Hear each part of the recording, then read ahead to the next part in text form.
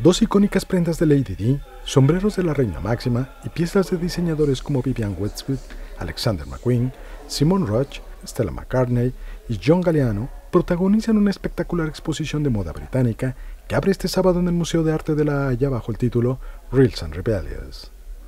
Las creaciones rebeldes de la británica Vivian Westwood, fallecida el pasado diciembre, dibujan el hilo conductor de una exposición que se centra en diferentes formas de la moda y en el contraste de dos facetas, los protocolos, con la rigidez y la pompa que corresponden a la realeza británica, y el inconformismo y la rebeldía que muestra el movimiento punk.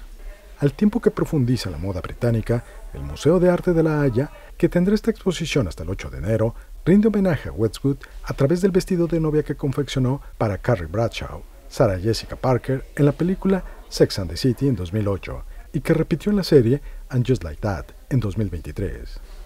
También hay prendas con historias polémicas, como la que destaca César Rodríguez Salinas, conservador de trajes históricos del museo, sobre Lady Duke Gordon, dueña de la exitosa casa de moda Lucille, y una de las pocas supervivientes, junto a su marido, del naufragio del Titanic en 2012 al haber sido de los primeros en saltar a los botes, dejando atrás a miles de personas. Esta situación puso a la pareja en el centro de las críticas, lo que llevó a su divorcio.